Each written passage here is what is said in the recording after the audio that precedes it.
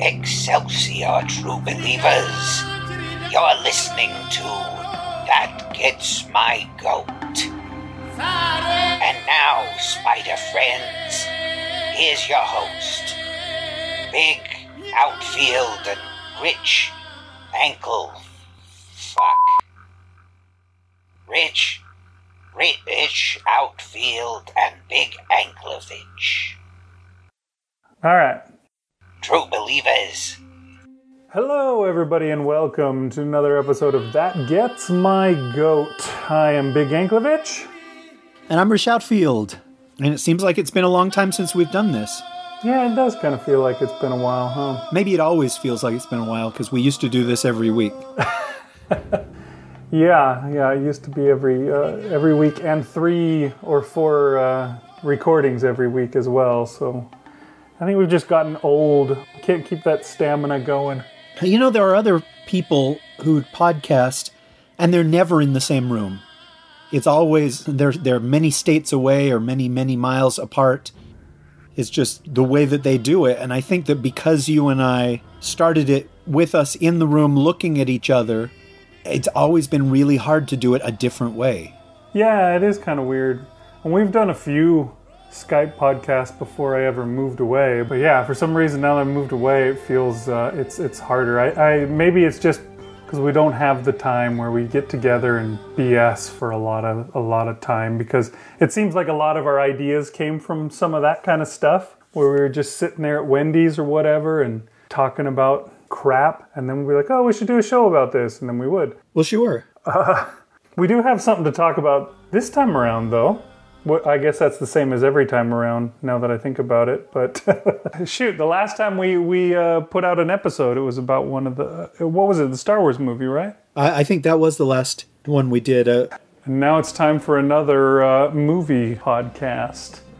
For those of you who dig on that, hopefully that's a lot of you, all of you, most of you. We're going to talk about uh, the most recent release from Marvel Studios, The Black Panther. Is it The Black Panther or just Black Panther? I think it's just Black Panther, right? right, there's no the. Okay. Did they refer to him as the Black Panther in the movie? It seems like they might have. Yeah, I think they said that several times. Like, you're gonna get the essence of the Black Panther and stuff like that. Anyways, Black Panther came out this week. We're talking about it. So get ready, because this ain't funny. My name is Mike D, and I'm about to get money. Sorry. A little Paul Revere for you. Is it wait? Is that the wiffle ball bat quote? It's the same song, yeah. It's not the same quote, but uh, yeah. Okay. It's MCA who did it like this and did it like that. did it with a wiffle ball bat. That, that probably puts me at a disadvantage for talking about Black Panther because when it comes down to it, that's about the extent of knowledge of rap music that I have. Uh, once we got out of like, once we got past about 94, once we made it to Tupac and Biggie, I was already gone. I was already completely divorced from rap music. I don't know what has happened since then, and that was what? At least like 22, 23 years ago that those guys came on the scene. Fresh Prince. Oh, I totally know Fresh Prince's stuff. LL Cool J. Oh, I'm down with LL Cool J. what were those guys? Why can't I think of their names? So were the two kids that wore their clothes backwards or inside out? Backwards. Was it Kris Kross? That's it. Oh yeah, I, I I'm down with Kris Kross, big time. But yeah, apparently uh, there's a lot of uh, like I, I actually went looking for the soundtrack. The, normally, when the movie comes out and I search for the soundtrack, I get the movie score that I can listen to. You know, and I, at one time I think was it Doctor Strange when I managed to get the score before the film came out, and I listened to it a bunch of times before the film came out so that I could have that kind of experience of being familiar with the movie or with the music going into the movie. So I thought I'd try that again with Black Panther, and so I searched for it. All I could find was uh, Was the the the songs inspired by the movie Black Panther? exactly, yeah, that's what it was, and it was all like That Kendrick Lamar stuff. yeah, Kendrick Lamar, who I've never heard. I, I suppose I probably have now heard his music, but before going to see this movie, I had not. So yeah, I mean, this is a movie that's that's got a lot of rap influence, I guess, and I'm yeah at a disadvantage because I fell away from that years and years ago. Sadly, now you are totally down with hip hop and rap, right? Yeah, absolutely. Uh, in fact, the, the Kendrick Lamar song that they had in the trailer for Black Panther, um, pretty much guaranteed I was not going to see the movie.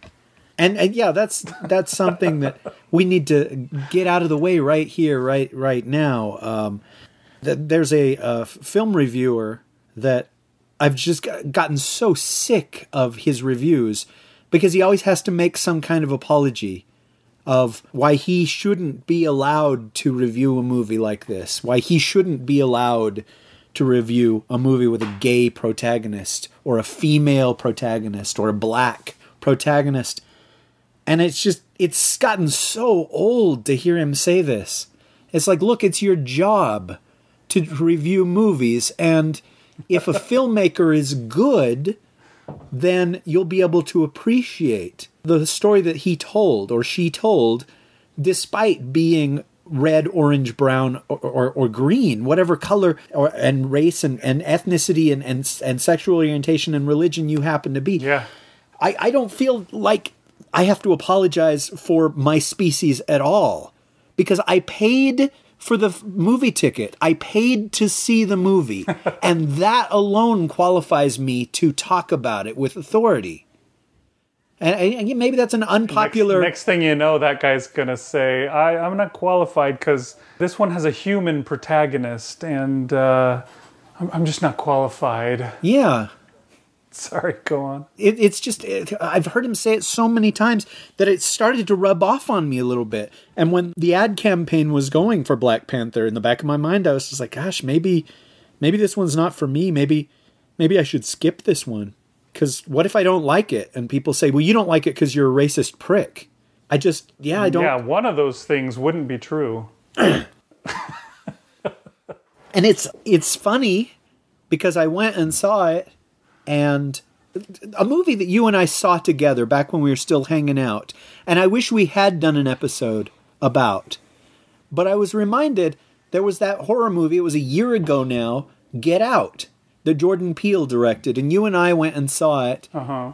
And the subtext of that movie was what it's like to be a, a black man in a white world where there's always suspicion on you, where you're always the other, where you're always marginalized. And despite being a white devil, I went to that movie and it spoke to me.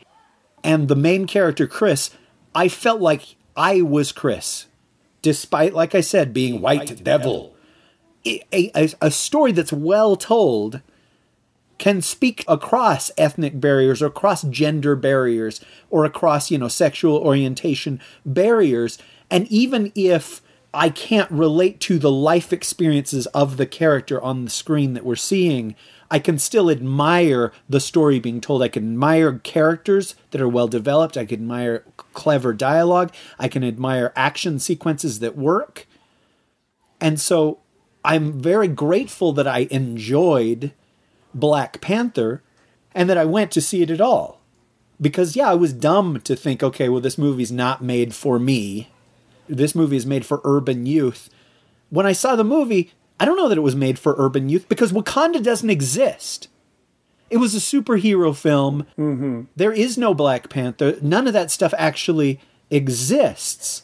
So for me to say, because my ancestors didn't come from Africa, that it, it can't speak to me, I don't know. That's ludicrous. It it it was a sci-fi movie. Right. Anyway, sorry, I was just talking and talking. Why don't you talk for a minute? No, I, I know exactly how you feel. I kind of felt a little bit that way too. And I, I feel a little, truthfully, afraid in reviewing this film. I'm afraid to say the wrong thing and upset somebody.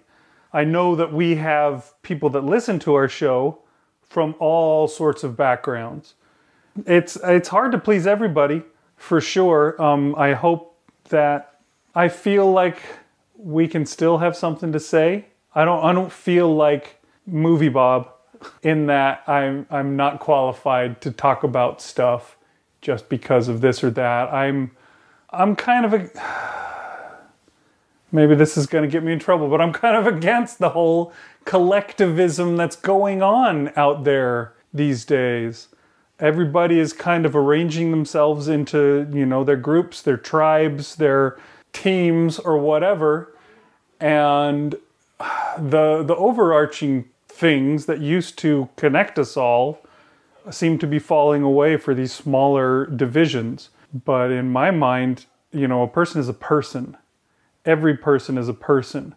And every person, they're not worth something because of what characteristic they were born with or whatever. They're worth something because of what kind of a person they are. You know what I mean? If you're a good person, then you're a good person. Doesn't matter uh, your gender, your orientation, your race, your political affiliation, whatever. And if you're not a good person, then you're not a good person, no matter what your gender, etc. So that's you know how I feel about it, and I, think I'm in the minority these days. It's starting to seem like that's a unpopular opinion these days, and I don't want to get any more political than that. So I'm gonna I'm gonna nip it in the bud there, and maybe we'll move on to the movie itself. But it's hard to do that with a movie like this because this movie was kind of seen as a touchstone, right? I, I don't know if you got that. Oh, absolutely. But everybody was saying, hey, this is a big deal because this is a predominantly black movie. You know, every most of the characters in it are black. Um, the director was black, the art director, et cetera, et cetera, down the line of the uh, behind the scenes personnel were also black. So this was important. And I kind of bristled at that a little bit because it, it's like when all of a sudden, you know, superhero movies became something that somebody, that the culture in general cares about. You know what I mean? Like before, when you and I were kids, and you know, Superman came out, and and then Superman 2 came out, and then they, they kind of sank into obscurity, and you didn't get any more superhero movies for a while. And then Batman came out, and you got a few Batman movies, and then, and nobody cared much about them, and they were still kind of like, oh, it's like your dad, where he, where he would always say, oh, those funny books. He's reading his funny books. People in general will still, oh, that's those are movies for kids. A grown man shouldn't be watching a movie like that. And I still hear that even to this day. I, I heard somebody say that about Black Panther uh, you know, movie made for kids. It's surprising that it's getting this kind of traction uh, as a cultural touchstone. It's frustrating when suddenly all these people who have ignored superhero movies for so long want to say that this one is. And I heard it a lot because, you know, I, I work in the news, and the news packages would say it's the first black superhero movie. And I'm just like, what the f- are you talking about? The first black superhero movie. Oh, shoot, how far back do we have to go? I mean, there was Steel in the 90s, played by Shaq.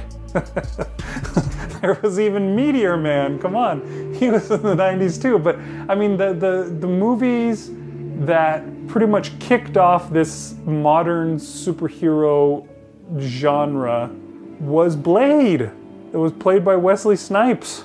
It was a black superhero, and it's the same thing that happened with Wonder Woman. Wonder Woman came out, and they said, "Oh, it's the first superhero movie with a woman in it," and you're just like, "No." The, I, I mean, I'm pretty sure that one would have to be Supergirl. But there was also Halle Berry's awful Catwoman movie, and and she clicked two boxes. Right. Why are you people trying to claim that this is the first one? Is it just that you're super lazy, so you couldn't bother to even look it up? Because I'm one quick Google would have proved you wrong. There's been lots of black superheroes through the ages, and even in Marvel movies, we've had several of them. Maybe they weren't the lead character, although Blade is the lead character, and he was the first. So they've had that. They've had side characters. Uh, it's not even the first movie that Black Panther was in. Black Panther was in Civil War.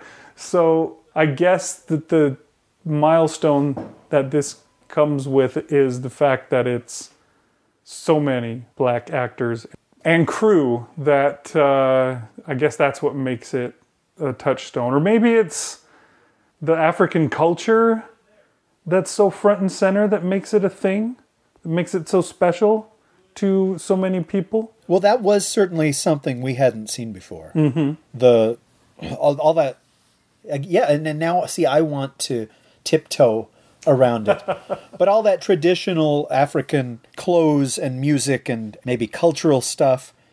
But still, it's sci-fi African. Yeah, it wasn't Stuff, actual. and- It's a it's a it's a fictional country. But but I guess because it was supposed to represent, in the same way that you know Mr. Sulu on Star Trek in 1966 represented all Asians. right. You know what I mean? It's just like okay, hey, in the future, there's there are going to be Asians, and yeah, it, I, Black Panther was it felt different than other movies. it did. And I think that, that that might be part of why people have embraced it so much is because it's like, okay, maybe it's not the first time we've had a black director or a black screenwriter or a black main actor in a, a blockbuster movie, although people are acting like this is the first time. Yeah, they've said exactly that. But Unfortunately, it, but it has a different sensibility. It has a different feel. It feels like something that no one has been able to make before because it would have cost too much, because it would have been too much of a risk, because the fan base maybe wasn't there, because I don't know, just the the stars lined up to make this particular movie. And it's interesting though that just last year, not even a year ago, right before you moved away, there was Wonder Woman and and that spoke to a lot of people in the exact same way of this is a story that's for us that means something beyond just being a movie. And if you watch both of those movies, they both have sort of a secret society made up of a marginalized people that's hidden away from the rest of the world and then comes to light through the, the course of the film.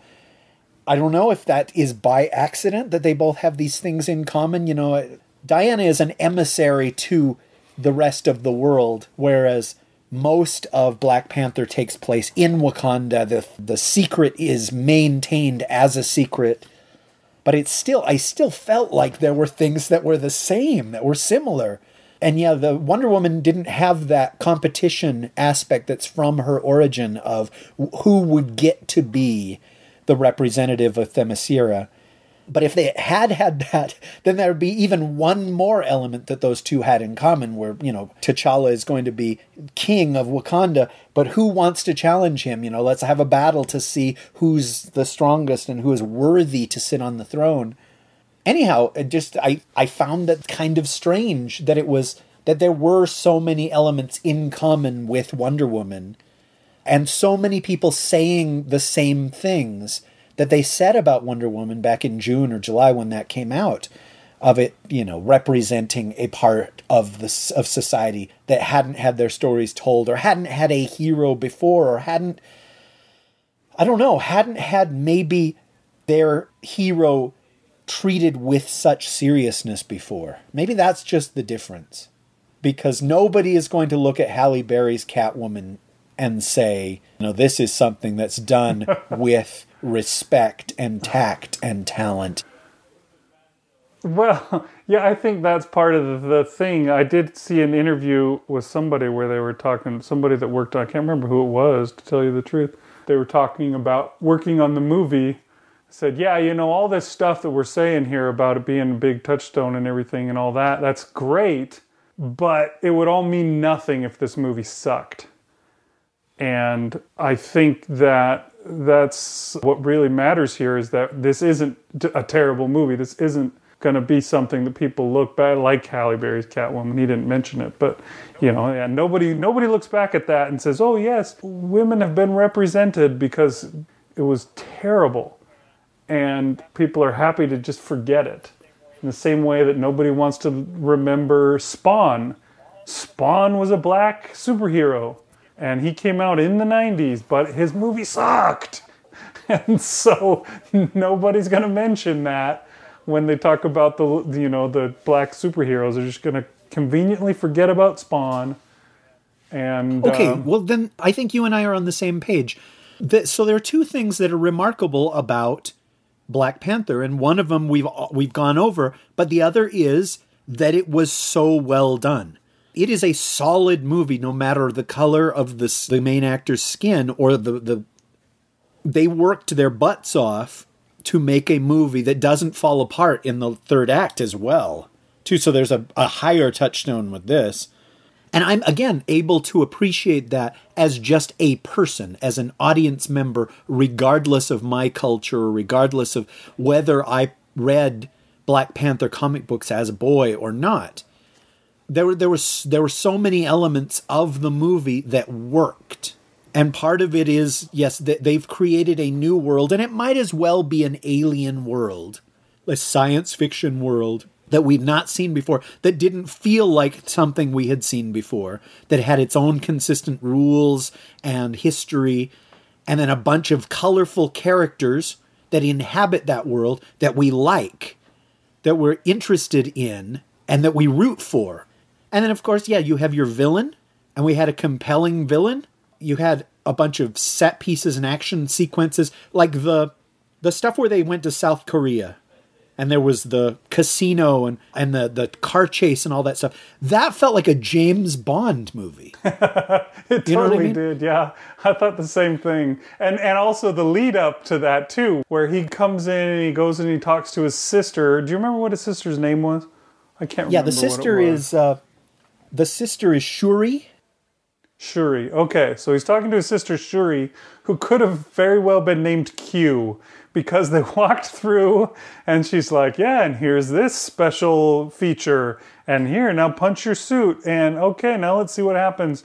And, you know, he, she goes through and demonstrates all the tech for him, just like uh, the James Bond pre mission thing. Before then, they get out and they go and they actually have the little James Bond adventure. and it worked. And The film was also well directed. I was worried when I saw the trailer when they revealed that Killmonger also wore a Black Panther costume. I was just like, oh no. Yeah. It's going to be one of those where I'm not going to know who's fighting whom. But it was directed well enough that you always knew which one was Killmonger, which one was T'Challa. At the very least, they put him in yellow and the other in purple. It, it helped. So that did and help. I don't know. I mean, we we're in an era where they could have had just totally crappy fight sequences and special effects that jumped out as special effects, and a certain segment of the population would have forgiven all that because of what the movie represents, the political aspect of the movie. But we don't have to overlook those huge flaws with this one because they worked hard enough. Like the fight scenes and all that stuff were so well choreographed. You always knew what was going on and where somebody was. And that's another technical aspect of the movie that somebody got right. I don't know. I just, I, I admire all the pieces that came together to make this movie work. Yeah. And if any of those pieces had been gone, and if they had, you know, phoned in A, B, or C, then yeah, we would be tap dancing around it right now. I would probably be saying, "Oh gosh, maybe we should cut this part out," but I really didn't like the romance or what. You know what I mean? Just it was so weak.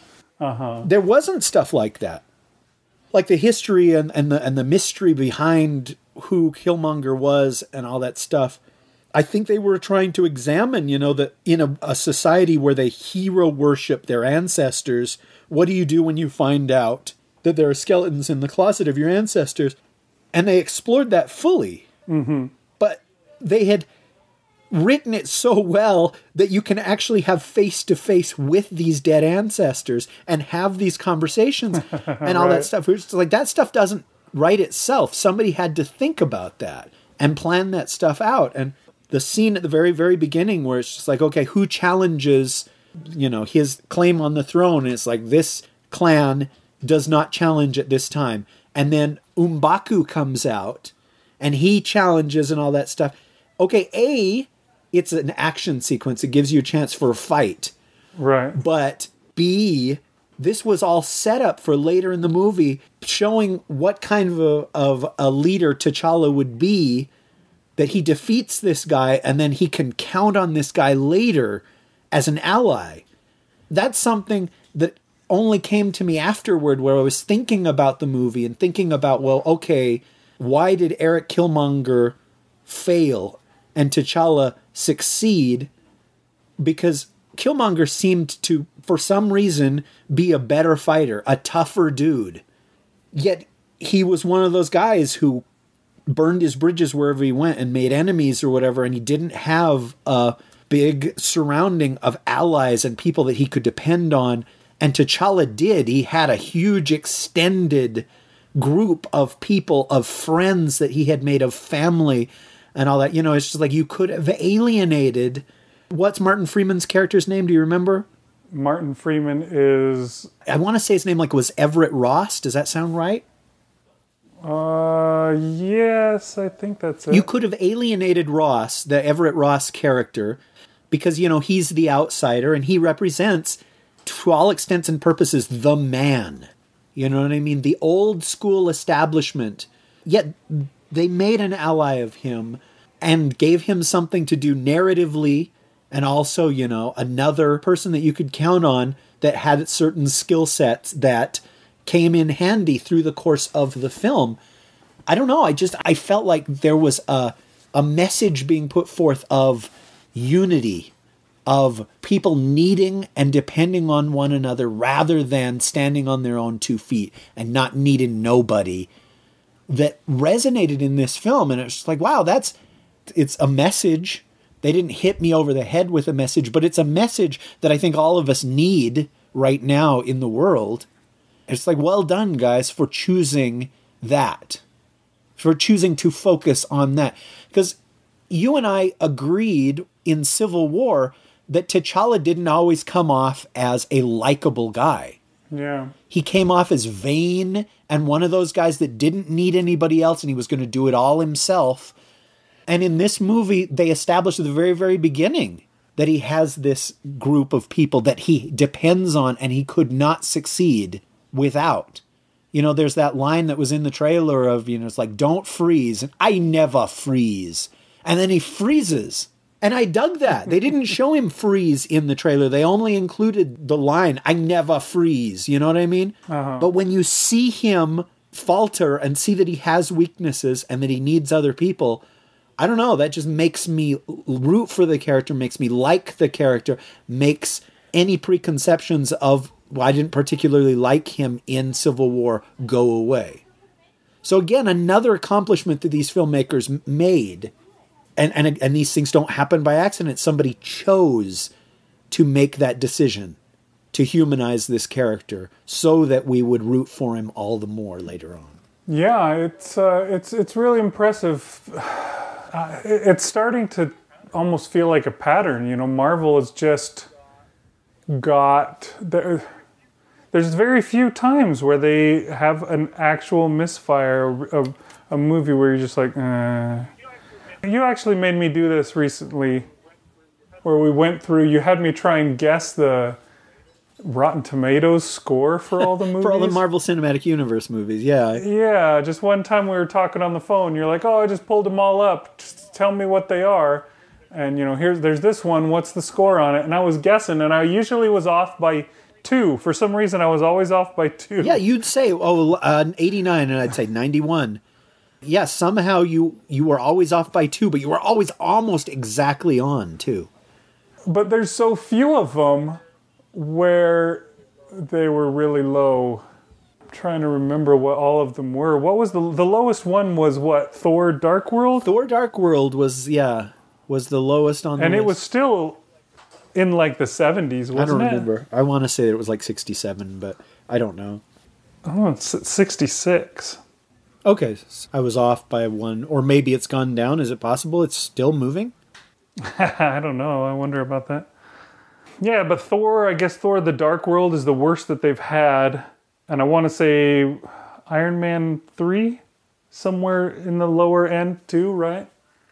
But lower end means in the 70s, 60s. Thor Dark World is 66.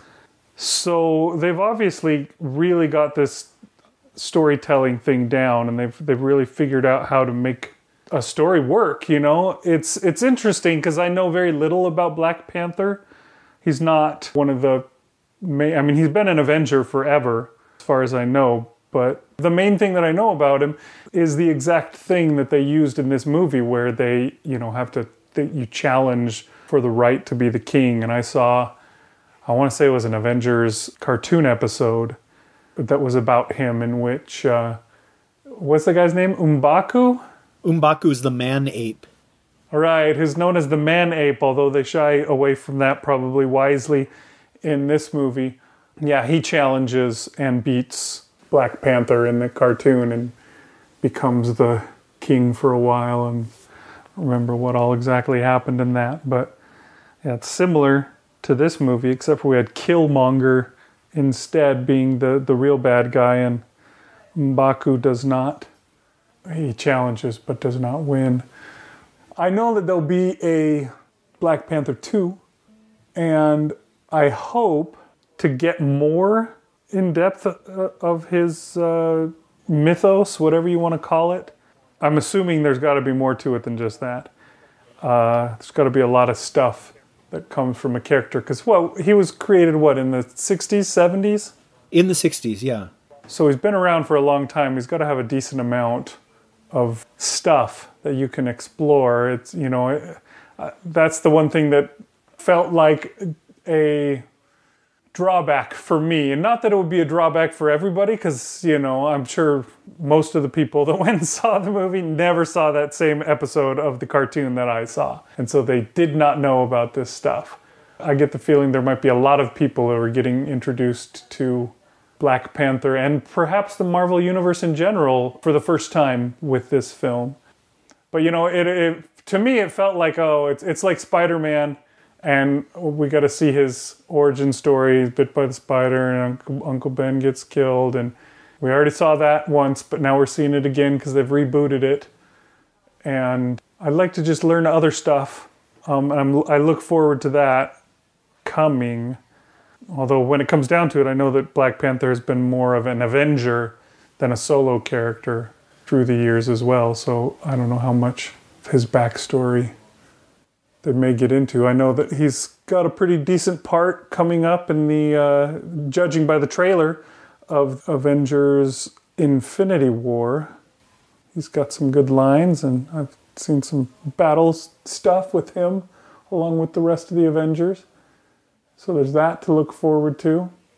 But yeah, uh, I really enjoyed this movie. I thought it was really good and accessible to everybody. You know what I mean? I do. I and and I was afraid that it wouldn't be. And and you know that's okay. If the movie is not for me, that's okay. Not I I I know that that's you know, that's a criticism that people like us get all the time. Not everything has to be for you. And I understand, but at the same time, I bought my ticket with my money. And so the fact that I enjoyed it and that there were things that spoke to me and I related to despite skin color makes it doubly successful. And I, they had a lot more on the line with a movie like this than a Tyler Perry movie. That it's okay if it just focuses on a, a segment of the population.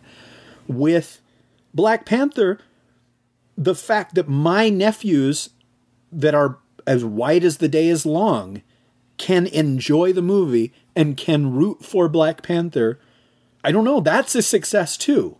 A success that's beyond just they made a movie with an African hero. The fact that they made an accessible, good movie with an African hero is the real accomplishment, I think. And yeah, now I'm a Black Panther fan, and so when they announce a Black Panther 2, I will be excited about it um, same as w- you and I saw Doctor Strange together, and I'd always found Doctor Strange boring and had no interest in Doctor Strange, but it's just like, oh, I can't wait to see another movie with this character. Well done. And, and I just, I, I like that visually it looked like nothing we'd seen before, and uh, they took their time to have motivation for these characters and then to give all these characters from the sister, the love interest, even the mother, the Forest Whitaker character, all of them had something to do, some reason to be there. fleshed out lives beyond just the screenplay, and that's cool too. I I I really liked Klaw. I really liked what they gave Gollum to do with Ulysses Klaw. It's just the they had just all sorts of really colorful, interesting characters that came to life when they were on the screen. And so I wouldn't mind seeing the movie again. The previous benchmark was not Wonder Woman. The previous benchmark was The Dark Knight, when everybody was talking about it and it got nominated for Best Picture. And it's like, yeah, okay, this is a comic book movie, but this was a great movie regardless of its origins in comic books. Do you know what I mean? Uh huh. Where it's just like, okay, as a Batman movie, The Dark Knight is successful. But beyond that, divorced completely from comic books, it is all the more successful. And so that that's the thing with Black Panther. The true accomplishment with Black Panther is that we're always running into people that are saying, "Oh, there's so many comic book movies, and how the they're so juvenile, and it's all fanboys, and there's a hundred of them released every year." None of that is true, but the fact that a movie like Black Panther can come out, maybe that will shut up a couple of those people that are like, "Well, okay." This one wasn't like all those other cookie cutter superhero films. All right, I'll give you that. And that helps everybody, not just a marginalized per- percentage of the audience. That helps all these films. What do they say? A high tide raises all ships. Uh, yeah. Is that is that the saying? Did I get that Yeah, right? Something like that. I wanted to say A rising, rising tide tide, but then you would say all ships. maybe it's lifts all boats. Yeah, it's something. I think rising tide is part of the expression because if I remember right, that was the name of uh, Skye's little Uh, Yeah, her hacker unit in Hacker the very beginning of that show. Agents of Shield.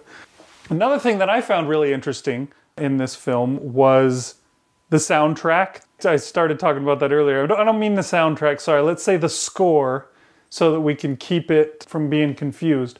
The score to this movie, and as you would expect, it had a great deal of uh, African influences. And there was some really interesting stuff. One part that really stood out to me do you know what the, the group of the female guards, what they were called? Well, I think that they're called the Dora Milaje. Does that sound right? Yeah, that does sound right. But it's something, you know, that I'd only ever seen in text. I didn't know how to say. Right. Like Magneto. Yeah, well. Your reaction to that is even funnier than the actual thing. How upset you feel that you didn't know that. Anyways, uh, that group, like, and, and as happens in a lot of film scores, certain people get themes, and when you see them doing stuff, then you hear their musical theme that goes along with them. And that's something that goes all the way back into like opera, long before even films existed. But uh, they had this really interesting. I don't know if you noticed it. It was it was like a almost like a whistling sound or something like that. They're, it, when they were doing their little James Bond kind of exploit, and uh, they start fighting in that casino. The woman who was the member of the Dora Milaje, is that what you said? That's what I said. Her name's Okoye. Okay. Okoye, she's she's up there fighting, and it's kind of going around the room, you know. So you see Black Panther fighting, and then the camera goes up to up there, and you see her fighting with a bunch of people. The the stuff comes in just right, and it's like whoop whoop. I can't remember exactly how it went. Unfortunately, I only saw it once, but oh, it just it was almost otherworldly to hear that right in the middle of that, and and see her fighting, and it was just really really neat. And I actually watched a little feature because I was just trying to look for that the score, and I came across the composer's name first of all, which was uh, Ludwig Göransson. Okay. He's apparently a Swedish composer, and I thought, gosh, do I know that guy's name? And I looked in my iTunes and searched for his name, and it didn't come up, and I just thought, why? And I finally realized he was the composer for Community. The TV show Community? yeah, he did the TV show Community. I searched like on IMDb and I was looking at his film scores and he wasn't coming up with any movies that I liked. And I was just like, weird that I know his name. And then finally I came across Community and so he did, and you recognize a lot of the songs that you hear on Community because you would hear them uh, relatively often. You know, they would come up and, and their their stuff. There was a point where one time at work I downloaded a whole bunch of songs from Community and I would just listen to them while I would work. And then I forgot about that that they were there and I never took them home. And and then they had to uh, like re-image the computer that I usually worked on and when they did that, that lost all those songs, so I don't have them anymore. That's why they didn't come up when I searched for them on iTunes.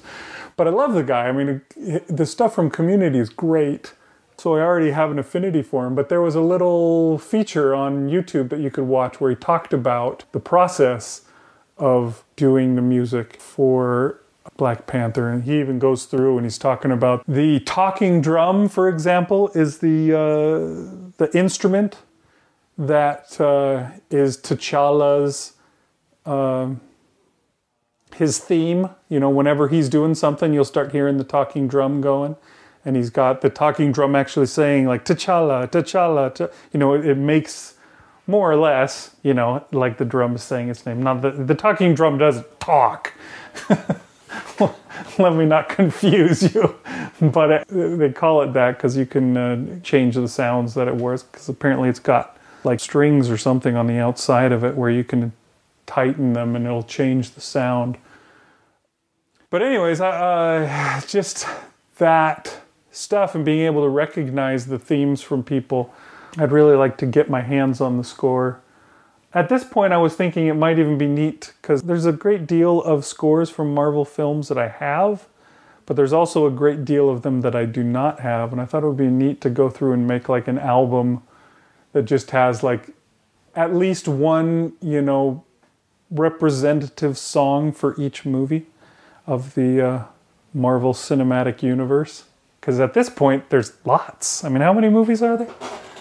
So you could easily make a, a great big album out of something like that if you, you know, you get like the Macarena song for Iron Man, and then you get the Sons of Odin for Thor, and you know, Captain America theme, and some of those I I've never even like checked out like the Ant Man. I'm not sure that I know. Sadly, I own that movie. We own it. I've never watched it. Got it because my daughter really wanted it, and she's watched it, so at least it wasn't a waste of money. But I've never watched it, and I don't know why. I should have. I really enjoyed the movie, and I never watched it since to see if I if it holds up, I guess, or whatever the whatever I'm going for here. But yeah, seeing the trailer, which they had for the sequel to Ant Man, they had the trailer for that before Black Panther, which reminded me, I guess, of Ant Man and made me think, man, I ought to check some of those things out. But yeah, I'm kind of a, a film score geek, but not really. I'm, I'm sure there's people that make me look like a complete novice. But I do really like bombastic, you know, action movie kind of scores, especially and ones like this where they have something different to them. Uh, I saw a movie back in the 90s called The Power of One. I don't know if you've ever heard of that one, but it was. What's his face? Shoot, what can I think of his name? Super famous. Zimmer, Hans Zimmer. Thank you, sorry. It was Hans Zimmer back when I, I, I think he was really starting out at this point uh, when this movie came out. And uh, this was a movie set in South Africa. And oh my gosh, the music on that movie was so amazing. I got the soundtrack back in the day when I had to buy the cassette tape to get the soundtrack. But yeah, there was some just amazing stuff in that soundtrack. And I, I, and I, I bet that that movie, having done The Power of One, is what got him the gig with Disney doing The Lion King. Ah. Because he's already had really good experience and he'd already produced some just amazing stuff. So yeah, he, he's done his share of that. And so we've got a few that are like that. I like that stuff. I like. I guess the word for it is diversity. I like uh, all different kinds of things. I find it wonderful that there is so many different things out there and that we can experience them, you know? I don't want to take them from others, uh, but I do like to be able to experience them, to know what what there is out there and to see that there's a big beautiful world out there. There's so many different things, so many different peoples and places that's I guess one of those things that this Black Panther movie reminds me of again. You know, it's it's easy living in America to just get into your own little bubble, surround yourself with people that look like you and think like you and talk like you, and to force away those people that don't.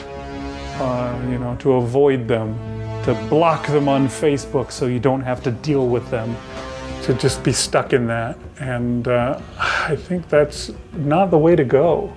I think it's important to experience everything and to hear everybody and to really, you know, see what's good and I guess bad about different people.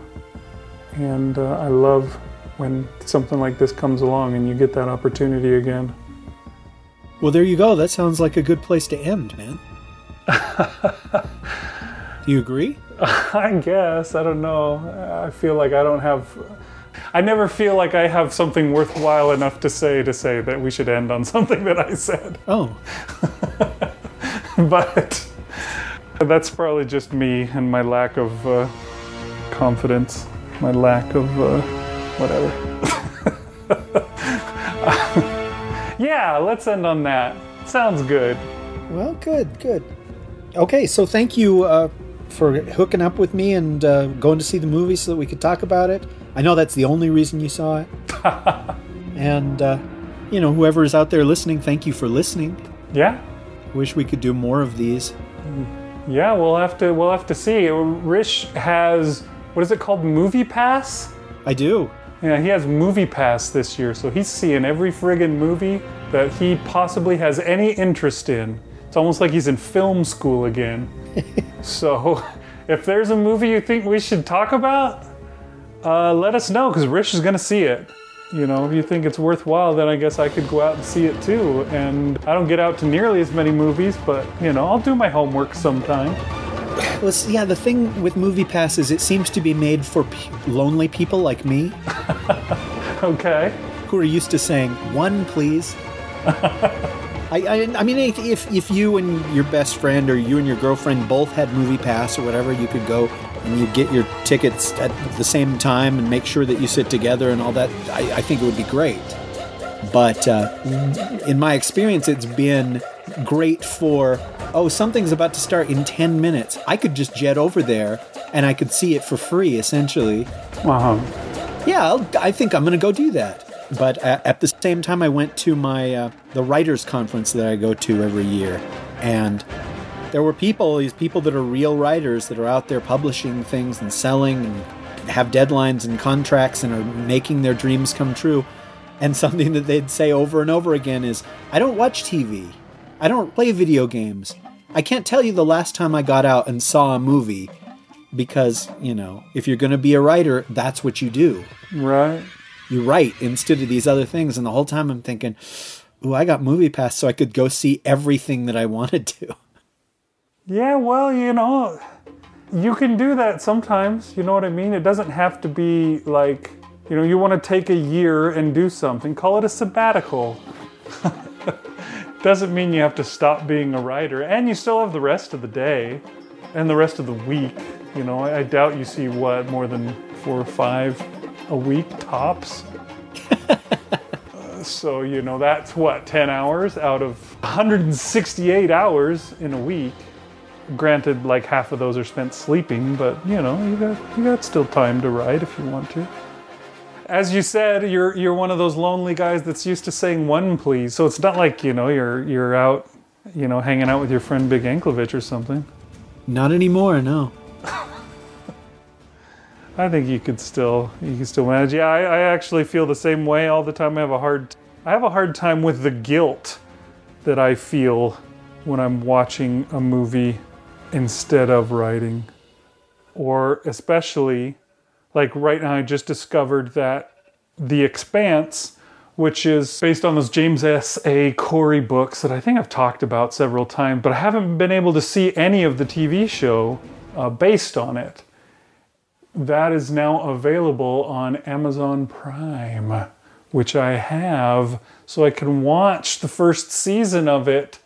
And I just saw that and I thought, oh, and then I looked and saw there's like 10 episodes, so it's like 10 hours that I'd have to devote to that. I really want to, but that's 10 hours that I'm not putting into other things, especially writing, which is something that I really need to get back to.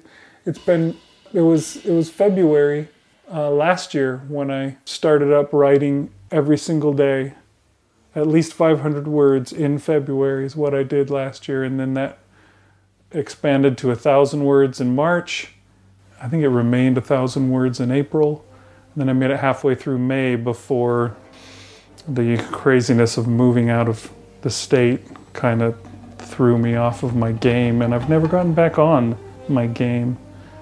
So being off my game makes me feel all the more guilty, even considering going and watching 10 hours of a TV show. But I really want to. Yes, but you can reward yourself if you do start writing again, if you do the things that you're supposed to do, by having the expanse out there as a carrot. Yeah, that's not a bad idea. You know, you've been talking about dieting when we're not on the air, and you reward yourself if you honor your diet by buying a book. And it just seems like, okay, well, an extension of that can be you can reward yourself by you know every x number of days you write in a row you can reward yourself with an episode of the expanse Yeah, that's a good idea.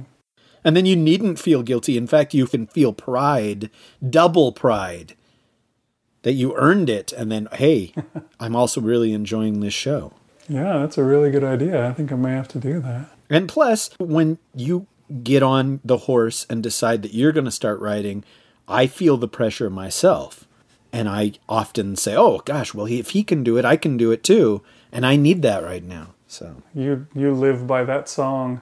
Anything you can do, I can do better. Well, that, that has been the case, yes. I can do anything better than you. So uh, No, you can't. let's end on that horrible note. All right. Well, it's, it's a perfect way to send everybody off wanting to never come back. Excellent. Thanks for listening, everybody. Uh, and we'll see you next time. I've been Big Anklevich. And I have been Rish Outfield. Whoa. Good night. All right. See you, folks. That Gets My Black Panther is produced under a Creative Commons 3.0 no derivatives license. So, unlike the secrets of Wakanda, you are permitted to share it with all around you, but you must do so for free and can make no petty claims on it. Big and rich, they never please.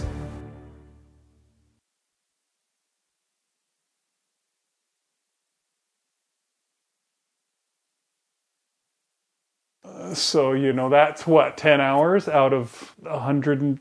I don't know how many hours are in a week. Well, isn't it 24 times 7? Yeah, but do you know that? Hold on one sec. Siri, how many hours are in a week? Okay, it's 168. So there. I would not have been able to just work that out in my head as fast as I could type out how many hours are in a week. So I went that direction.